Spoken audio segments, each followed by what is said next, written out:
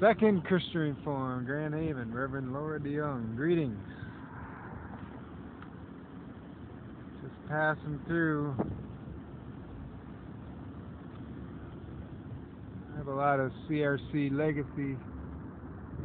So I'm always looking for the CRC wherever I go on my trips. Right now I'm traveling across the United States. I'm a Christian evangelist. Spending a few days in the heart of CRC territory. so,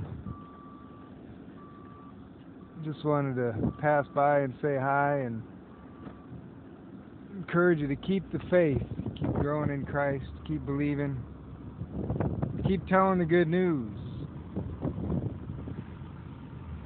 Fulfilling the Great Commission as we're all called to do. God be with you and bless you in the name of the Father, Son, and Holy Spirit. Amen.